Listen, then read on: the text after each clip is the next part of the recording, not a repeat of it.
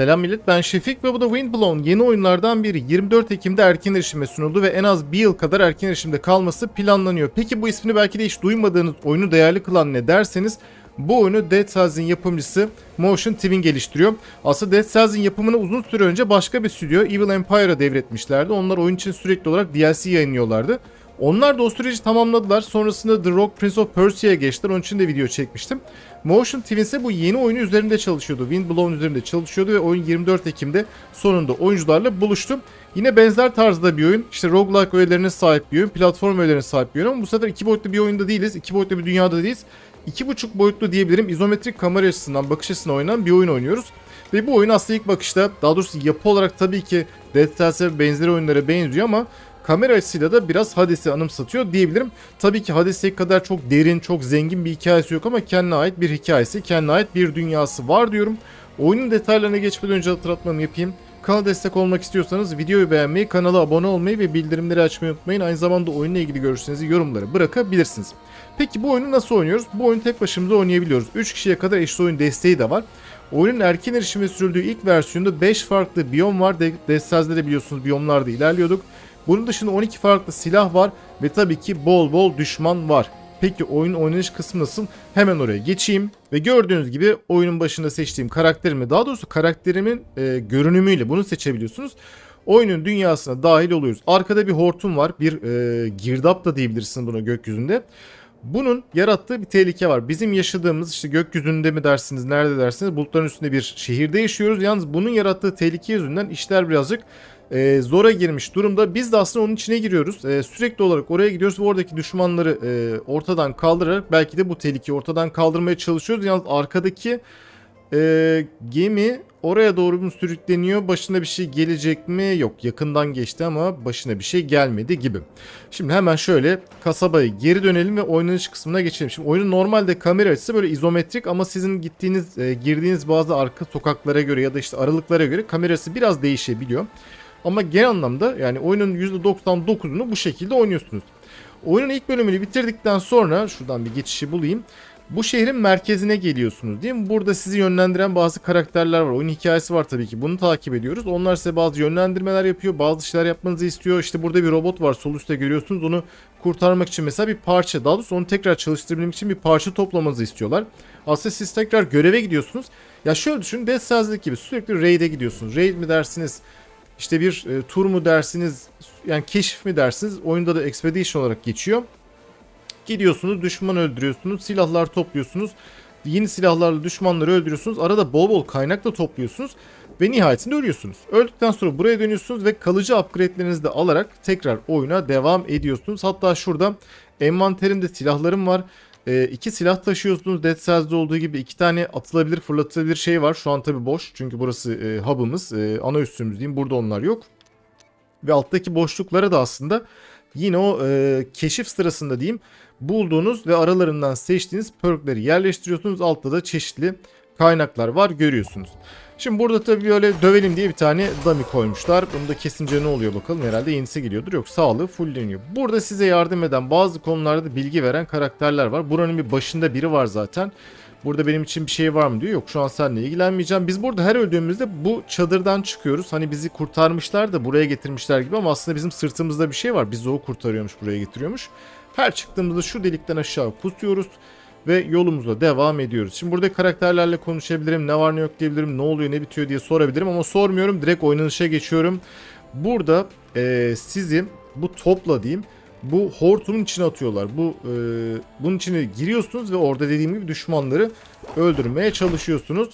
Farklı biyomlarda gittikçe zorlaşan, gittikçe daha e, alt edilmesi zor düşmanları görüyorsunuz ve tabii ki e, bu keşiflerle beraber biraz da oyunu öğreniyorsunuz. Şimdi Elimizde tabii bir silah var. Dead Cells'de olduğu gibi silahın DPS'ini, damage'ını varsa ekstra bir özelliğini işte yakıcıdır, e, kanatıcıdır neyse bunları görüyorsunuz. Yerden bir silah almak istediğinizde mevcut silahlarınızla kıyaslayıp tabii ki e, hangisi daha iyi diye bakıp ona göre alabilirsiniz. Elimde bir e, Beat Bolt diye bir şey var. Bunu yeni almıştım. Onu bir tutmak istiyorum. Onu, e, o yüzden de yeni aldığım silahı DPS'i daha yüksek olduğu için ilk silahla değiştireyim. İki silah için iki tuş var. Fırlatılabilir şeyler için RB, LB var. Ee, RT'yi henüz kullandım mı hatırlamıyorum. Şöyle bir silahımı gördüğünüz gibi deneyeyim. Bu da... Ha, bunun da ritmi var galiba. Şu e, saldırıya geçmeden, kaosun içine girmeden önce şunu göstereyim. İlk silahınızla ya da ikinci silahınızla hangisiyle olursa olsun. Şöyle 3 vuruş yaptıktan sonra kafasını, gerçi bunda olmadı. Şununla deneyelim. Bir ikon çıktı gördüğünüz zaman. Onunla o geldiği zaman diğer silahı kullanırsanız böyle çok daha güçlü bir saldırı yapabiliyorsunuz. Aslında bu tip şeyleri ben de dün yayında, e, dün değil önceki günkü yayında ya da ondan önceki günkü yayında. Hangi gün bu videoyu yayına alacağım bilmiyorum ama ben de keşfetmiştim. Bu kırdığınız vazoların çoğu boş olsa da saltta gördüğünüz gibi bir para yerine geçen yani en basit en çok toplanabilen kaynak var. Onu alıyorsunuz. E, platformlardan aşağı düşme şansınız yok düşmüyorsunuz korkmayın. Ama e, bu şekilde geçiş sağlıyorsunuz. Özellikle düşmanların olduğu yere geldiğinizde aslında bir şekilde orayı da aktive etmiş oluyorsunuz. Bazen gizli yerler oluyor gidebileceğiniz. Buraları keşfetmek için böyle haritanın kenarlarında gezmeniz lazım. Düşmanlar çeşit çeşit uzaktan saldıran var, yakından saldıran var, bir şey fırlatan var. Son anda böyle e, aslında şöyle gezeyim. Zaten çok gelmiyor. Böyle geziyorsunuz. X ve Y ile ateş ediyorsunuz. E, bir tane kalıcı özellik aldığım için sağ sol altta görüyorsunuz. B'ye bastığınızda sağlığımızı yerine getiren bir iksirimiz var. Onun dışında A'ya bastığınızda böyle e, kaçıyorsunuz. Bu arada o biraz patlayıcı bir şey attığı için uzağa gideyim dedim. Ve genel mekanikler böyle ilerliyor diyebilirim. Biraz yola doğru e, yolda artık ilerleyelim. Bazı düşmanlar zaten şu saldırı yapacağı zaman belli ediyor. Şu özel yeteneği kullanmak istiyorum ama e, bunlar tabi zayıf düşmanlar olduğu için çok az vurduğunuzda direkt ölebiliyorlar. Ama işte bir biyom geçtiğiniz zaman işler hemen değişiyor. Oyun oynadığım süre boyunca tabi Death de çok seven biri olarak ki Death sevmeyen yoktur herhalde. Bu oyunun da genel mekaniklerini çok sevdim. Oynanışını yani akıcılığını her şeyi sevdim diyebilirim. Şu ana kadar oyuna e, en azından Steam'de yorum yazanlar da gayet memnun kalmışlar gibi görünüyor. Sen alttan buraya gelir misin? Gelirsin. Sana şu saldırıyı denemek istiyorum ama deneyemeden sen de öldün. Ya genel yapısı güzel. Yani böyle şu anki halini bile diyeceksiniz ki 5 biyon var 15 e, 12 tane silah var yeterli mi? E, tabii ki bunlar zamanla artacak. Dead Cells de çok uzun bir içerik destekleme e, desteklenmesiyle bugünlere geldi. O yüzden hani yapımcılara güvenebiliriz diyebilirim. Şu şeyi deneyeyim dedim ama ilk saldırım daha doğrusu ikinci saldırım o kadar yavaş ki anında darbeyi aldım. Önemli değil. Şu bir saldırsın yapsın. Şu komboyu hala gösteremedim. Fark ettiyseniz soldan da bir yol gidiyor gibiydi ama sağa da bir yol gidiyor. Burada çeşitli tercihler yani rotayı değiştirebiliyorsunuz. Bazen böyle farklı yerlere gidebiliyorsunuz. Ama genelde dönüp e, öbür tarafı da temizleyebiliyorsunuz. Yalnız bazen çift kapılar oluyor. Birinden geçtiğinizde diğeri kapanıyor. Yani oralarda tercih yapmanız gerekiyor. Her biyomun sonunda da nereye gidiyorsunuz? Tabii ki boss'a gidiyorsunuz. Şuraya bir gelelim. Gördüğünüz gibi kapıyı açtık. Solda gidebiliriz ama kapıyı açmama rağmen şu tarafa da bakayım dedim. Şimdi hangi taraf daha yoğun? Nerede asıl e, yol nereden gidiyor? Boss'a nereden gidilir? Bunu görmek için böyle geze geze anlayacaksınız. Bu farklı da bir düşman gelmediği için şunu da saldırısından kaçınalım. Bu arada tabii böyle geçerken yeni silah da bulacağım. Fırlatılabilir şeyler de bulacağım. Şu an olmadığı için biraz ee, sadece yakın mesafeden ve ana silahımla, birinci silahımla saldırıyorum. Bunu öldürünce ne kazandık? Bir şey aldık oradan. Ne aldık? Encrypted Memory. Şimdi oyunda şöyle bir şey de var. Sizin o başta dedim ya merkezde bir robot vardı tamir ettik. Siz böyle etrafta gezerken buradan geçmiş olanların diyeyim öyle bir hikayesi var e, anılarındaki şeyleri topluyorsunuz. Silahlar vesaire oluyor, bir şeyler oluyor. Bunları topluyorsunuz ama bunları o robot tabii ki e, şifresini açıyor diyeyim. Yani o şifrelenmiş olduğu için onun bunları açması lazım. İkinci silah da uzaktan sıkıyor aslında ya. Diplerine girmeme gerek yok. Böyle bir e, hikayemsi şey de var. Yalnız yol buradan gidiyormuş. Ben bir öbür tarafa dönersem belki orada bir şey kaçırmış yani kaçırmışsak da alalım. O kapı buradan gitmiştik. Yani böyle bir e, kilitli olan özellikler buluyorsunuz diyeyim. Bunları açtıktan sonra e, ona şifreyi açtırdıktan sonra daha doğrusu. Şöyle uzaktan saldıralım. Yine o özelliği açabilir miyim dedim. Açamadan bir kez daha darbe aldım. Bazen de böyle bir düşmanı öldürüyorsunuz. Sen bir ateş et. Şöyle geçelim. Uzaktan da çok yavaş vuruyor. Şöyle gidelim. Bazı bölümlerde bu, bu tip açık alanlarda bir de son anda karşınıza dojluyorsunuz. Ee, yeni yeni düşmanlar tekrar tekrar spawn oluyor. Gördüğünüz gibi. Kalabalık düşmanlarda özellikle uzaktan saldıranların e, şeyine dikkat etmeniz lazım. E, nereye gidecek, nereye doğru atlayacak. Daha şöyle mesafeyi açıp bir tanesini alalım. Ne kadar kalabalık olursa tabii takip etmeniz gereken o kadar e, düşman e, rutini oluyor diyeyim. güzel bir temizlik yaptık ve bahsettiğim yere geldik. Buradan get gift yani bir tane hediye almamız lazım. Bizden önce buradan geçen karakterlerin diyeyim farklı yapıdaki karakterlerin özelliklerinden birini alıyorsun. Mesela bu silahlarda ve işte fırlatılabilir şeylerde %60 daha fazla hasar verebiliyormuş. Rastgele bir düşmanı işaretliyor ona hasar verebiliyoruz. İlk vuruşumuz yine %120 hasar ee, hangisini alsam? Şunu alayım. Genel bir yatırım yapmış olayım. İlk perkümüzü aldık. Bakın sola eklendi. Ama tabii daha fırlatılabilir bir şey bulamadım. Bir de bahsettiğim gibi şöyle gizli yerler oluyor. Şu ana kadar bulduğum gizli yerler genelde şelale altlarıydı ama bu biyom için söylüyorum. Tabii farklı biyomlarda her biyomda şelale yok. Şuradan devam edelim. Biraz da hızlı gitmeye çalışayım.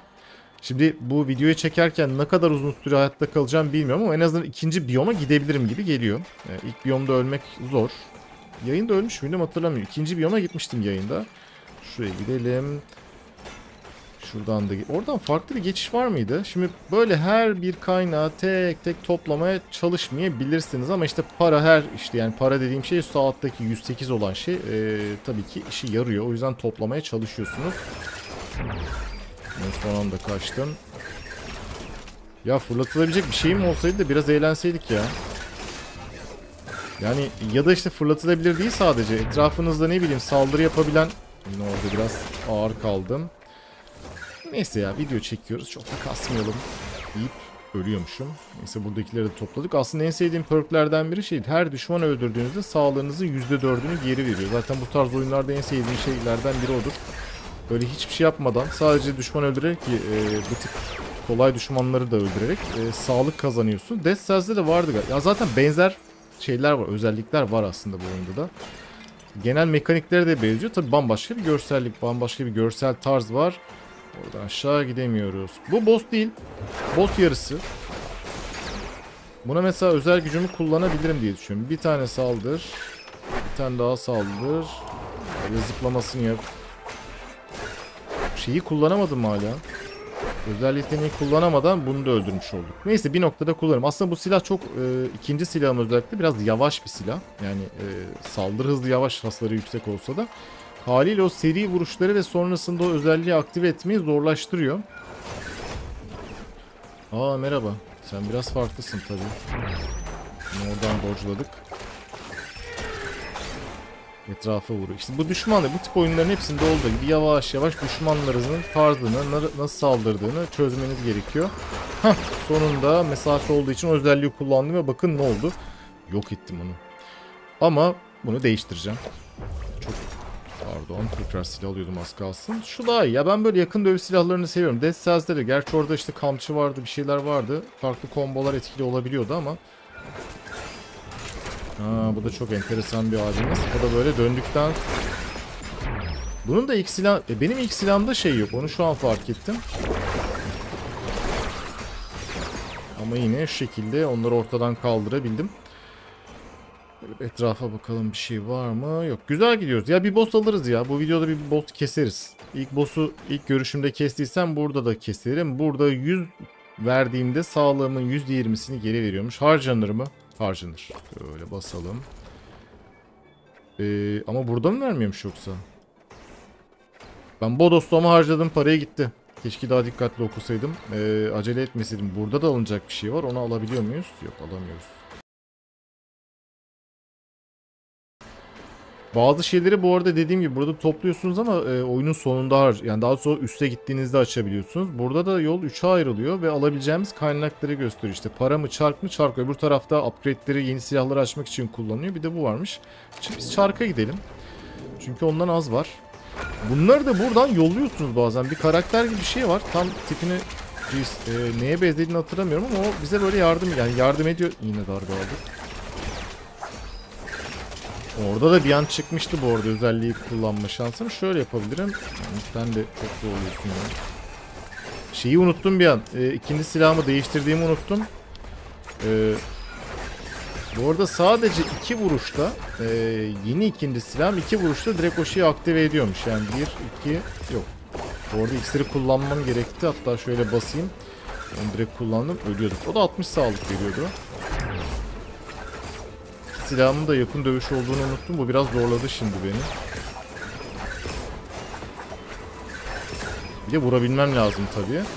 Neyse az kaldı. Lan kaçalım. Bunları da öldüreyim. Biraz daha kalabalık oldu. Her silah aynı sayıda vuruştan sonra aktive etmiyor demek ki o şeyi. Özel yeteneği diyeyim. Mesela orada çıktı ama o kaosta bazen kaçırabiliyorsunuz. Ya dur şimdi oldu mu? Evet boss'a gitmeden öleceğiz galiba. O iksirden de bir tane vardı. Şu darbe almadan ikisini de tetikleyeyim. Güzel. Şu çarklardan da almış olduk. Bayağı da sağlam bir çark verdi. Yalnız çok az canım kaldı. Çok konuştum. Ee, düşmanı hafife aldım ve gördüğünüz gibi sağlığım sadece 26 indi. Yani boss'u aslında bir sağlıkla bile almaya çok yaklaşmıştım. O yüzden kendime güvenmekle beraber çok da e, risk almayalım. Ya bir boss kesmeden de şu videoyu kapatmayayım değil mi? Bir boss kesmiş olayım. Oradan geçiş yok. Belli ki öbür tarafta bir şey var. Ve galiba yok. Boss'a değil de bu bu abilerin olduğu yere geldik.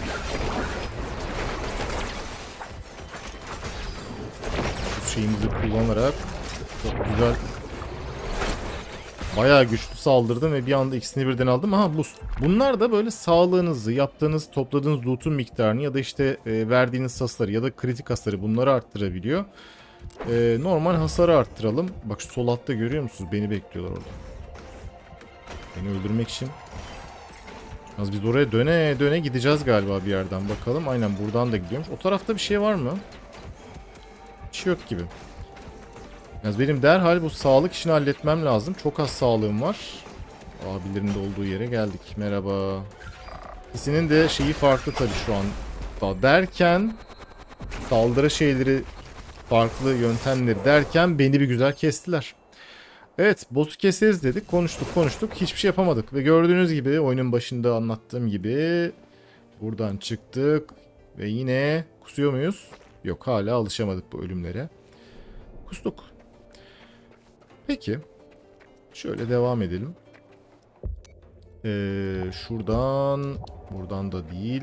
Şöyle yanlarına bir gidelim. Bakalım burada neler varmış. Şimdi bundan o şeyleri açıyoruz demiştim ya ben size. Hani böyle bir hafıza gibi bir şeyleri topluyorsun. Sonra ondan bunları açabiliyorsun. Sağ altta bir kaynak daha var. O çok zor bulunuyor. Üstteki 5 olan ki altındaki de hiç yok. Onlar daha da zor bulunuyordur. Bunlar işte hem silahları hem fırlatılabilir şeyleri açmanızı sağlıyor ki bunları da işte oyun boyunca ilerlediğinizde bulduğunuzda ki açtığım şeyleri burada görebilirsiniz e, karşınıza çıkabilsin ve alabilin. Mesela şunu açalım. Gördüğünüz gibi. Bir sonraki keşfimde bu karşıma çıkacakmış. Böylece envantere bir şey katmış olduk. Dead Orb bunu da alalım. Hemen yanımızda da almış olduk bunu. Ben bir daha bir deneyeyim. Yani belki boss'a gidemeyebilirim ama e, biraz daha hızlı bir şekilde ilerleyerek boss'a doğru gitmeye çalışacağım. Gerçi hızlı ve dikkatsiz oynayınca tabii ki ölme ihtimaliniz artıyor ama en azından size bir boss savaşı göstermek istiyorum. Bunu da alalım. E, demin mesela hiç ya tabi böyle oyunlar biraz random ilerliyor. Karşınıza çıkan şeyler e, rastgele çıkıyor ama bir tane bile fırlatılabilir şey çıkmadı karşıma. Biraz hızlı giderek. Şöyle. Darbe dağılmadan. Güzel güzel. Düşmanları alt edelim. Biraz daha mesela şunu bir kullanalım bakalım. Evet çevresinde. Ha benim yanımda geziyor ve çok güzel vuruyor. Bunu da öldürecektim ama gerek kalmadı. Onu öyle fırlattım bir yere gitti. Biraz hızlı gidelim. Hızlı gidince daha agresif gidince ne oluyor bunu da görmüş olurum. Yayında bu kadar hızlı ilerlememeye çalışıyordum. Bunu alalım. Ne darbe aldık. Bol bol darbe aldık. Kadar da gevşememek lazımmış arkadaşlar. Direkt iksiri kullanmak zorunda kaldım ama yine de hızlandırılmış bir şekilde ilerlemeye çalışıyorum. Ben bu işi yaparım ya. Kendime güveniyorum. Demin de böyle dedim olmadı. Ya yayındaki o rahatlık ya da performanstan şu an eser yok.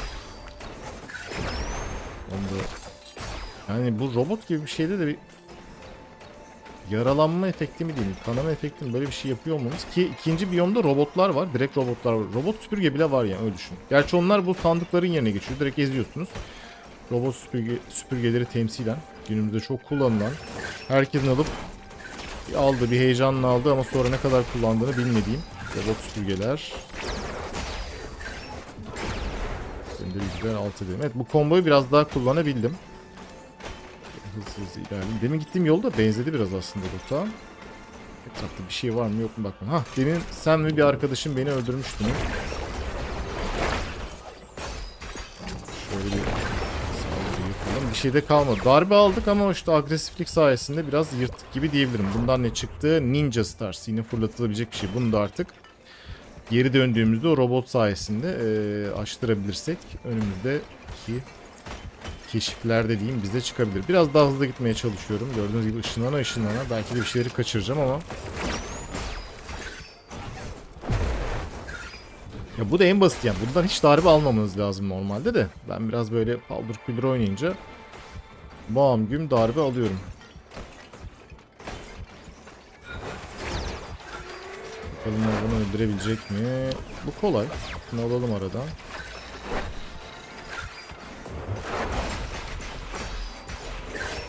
Saldırıyı da yapalım. O saldırımı yaptığımda karşıda koyamadı ve oradan Goo Bomb diye bir şey aldık. Bakın bir şey de aldık. Her zaman denk gelmiyor. Demin mesela o kadar bölümde daha fazla ilerledik. Mesela bu ne işe yarıyormuş? Onu biraz sabitledi galiba. Oraya yapıştırdılar diye düşünüyorum. Bunu öldürdük. Şurada bir şey var mı? Yok. Bölüm sonunda bu arada şey de çıkıyor. Karşınıza böyle şifalı suyun olduğu bir yer de geliyor. Orada işte biraz sağlığınızı nasıl diyeyim Açalım. Onu ben öldürdüm sandım biliyor musunuz ya? Ama yine hızlı davrandım ve tüm özelliklerimi aynı anda basarak hayatta kalmayı başardım. Biraz daha hızlanalım. Şu boss'u bir görelim ya. Bir boss keselim. Burada gidecek bir yer var mı? Yok. Aa sandık bulduk. Güzel. Memory Dust dediği. O zor bulunuyor dediğim şeyden bakın bulduk ama bir tane çıktı. Zaten böyle.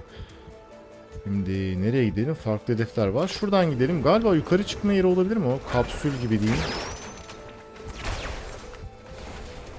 Yalnız öyle bir bastım ki düşman düşman kalmadı bir anda.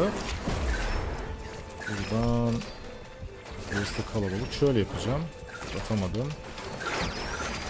Bu onları halleder mi acaba? Yok. Şu uzaktan saldıran daha doğrusu fırlayanı bir halledebilirsem Allah. Tabii o da gittiğim yere attığı için ve o da tabii gittiğim bulunduğum yere geldiği için Bu 23 sağlıkla vallahi iyi gidiyorum ha. Böyle atalım. Yine çok iyi bir temizlik yaptım ve boost'umu da aldım. Ama yine sağlıkla ilgili bir şey gelmedi. Atak hızını arttırayım. Biraz daha seri saldırabiliriz. Şuradan yukarı çıkalım. Burada da 200 veriyormuş. Benim ben böyle 100 verip sağlığı niye alamadım? 200'üm var mı? Var. Ama şu an kullanmayacağım. Ha bir dakika bunu alıp Demin ben bunu yapıp arkadan dolaşacağım ama dolaşmadım ya. Böyle bir ee, nasıl diyeyim? Şaşkınlık mı yaptım yani? Arkasından gitmem gerekiyordu ve gitmedim. Müthiş gerçekten. Bu olur mu? Hiç sanmıyorum ama yine de oyalar. Yine öldüm ya. Bunu hiç sevmiyorum ve çok yakından vuruyor ama beni Bak şeyler de gitti galiba. Normalde bunları teslim ettiğimiz bir yer vardı. Ya ben yayında vallahi ilk boss'u direkt kestim. ikinci biyoma geçtim. Yayın tekrarından bakabilirsiniz. Ama yine öldüğüm için daha da fazla şansımı deneyemeyeceğim. Ee, biraz size bırakacağım. Zaten 5 tane biyom var. İkisini ben göstersem geriye kalacak 3 tane. Oyun içeriğini tüketmeyin. Daha erken erişimi çıkmış ilk versiyondaki her şeyi de göstermeyin değil mi? Tekrar buraya gelelim. Manzaraya geldik. Oynanış böyleydi. Çok iyi iki e, sefer geçirmedim ama dediğim gibi yayında ilk biyomu direkt geçmiştim. İkinci biyomda ölmüştüm. E, ilk boss'u da kesmiştim. E, görmek istiyorsanız kanalda canlı yayın tekrarları mevcut. Bütün yayınların tekrarları e, olduğu gibi oradan izleyebilirsiniz. İkinci biyomu görebilirsiniz ya da direkt oyunu satın alarak kendiniz biyomları keşfe çıkabilirsiniz. Oyun erken erişimde şu an indirimde ama normal fiyatı 15 dolar. E, oyun hoşunuza gittiyse ve tabii ki Dead Cells'in yapımcılarına da güveniyorsanız ki bence güvenilebilir oyunu satın alıp oynayabilirsiniz. Satın almak isteyenler için açıklama kısmına linki koyuyorum ve bu videoyu burada kapatıyorum. Maalesef ikinci biyomu gösteremedim ama dediğim gibi yayın tekrardan bakabilirsiniz. Başka bir videosunda görüşürüz.